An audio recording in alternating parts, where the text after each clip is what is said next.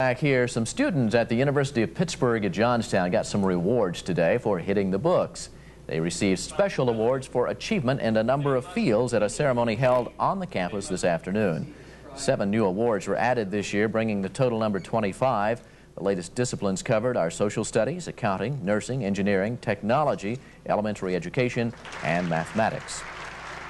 Among those getting the honors today was the person responsible for directing this show. Bob Jeschonek received a WJAC Television Award for achievement in subjects related to the television industry. Bob donning uh, a tie for the occasion, by the way. We are glad to see him do that. Help him get ahead in the business, I'm sure. Additionally, a number of graduating seniors cited for exceptional achievement in their major fields of study. Seriously, congratulations, Bob.